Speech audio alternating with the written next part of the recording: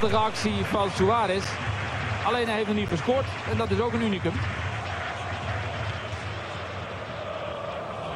Aan de andere kant is dit uh, een zwalbe puurzang van uh, de jongeling Charlton Vicento. Maar dit is heel opzichtig. Aardig geprobeerd. Maar hij is nog jong. Het is hem vergeven. Ajax jogou.